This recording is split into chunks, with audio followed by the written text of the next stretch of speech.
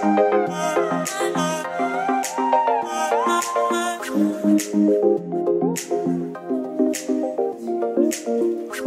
you.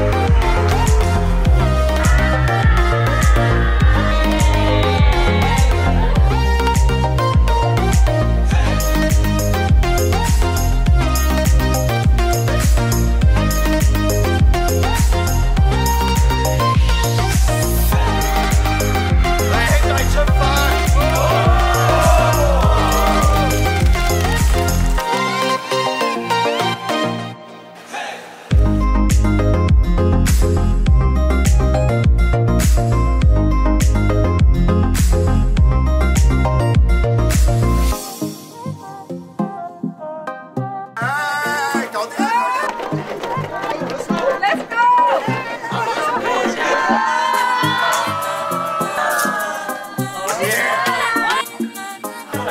No.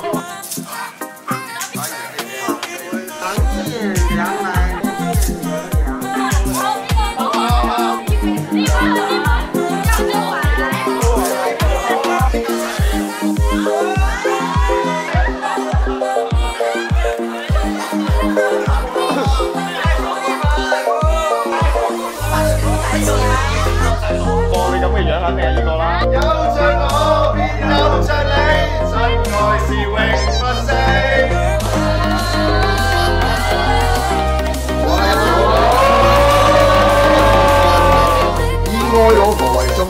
以孝敬丈母娘和老丈人为基本点